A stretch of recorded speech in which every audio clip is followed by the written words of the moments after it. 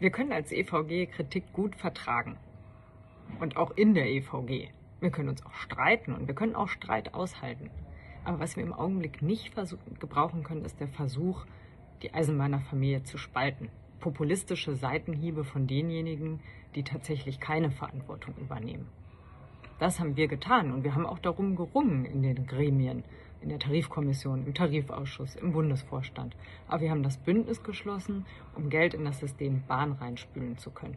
Und wir haben Tarifverhandlungen im Bereich der Deutschen Bahn AG geführt und haben da Verantwortung übernommen, genau für die Kolleginnen und Kollegen, die unter der Corona-Krise jetzt leiden, die die größte Wirtschaftskrise ist, die wir seit dem Zweiten Weltkrieg erleben. Und wir haben da die Arbeitsplätze abgesichert. Wir haben da Verantwortung dafür übernommen, dass weiter eingestellt wird und dass es dem Bahn so eine Zukunft hat.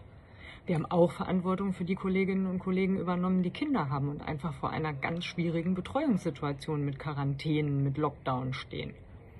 Und das, was wir da ausgehandelt haben, gilt für alle, die da arbeiten.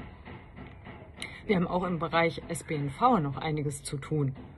Da haben wir einen Verdrängungswettbewerb. Wir haben Unternehmen, die wirklich äh, schwierig dastehen im Augenblick. Und auch da gilt es, Arbeitsplätze zu sichern. Auch da gilt es, aktiv zu werden und Verantwortung zu übernehmen.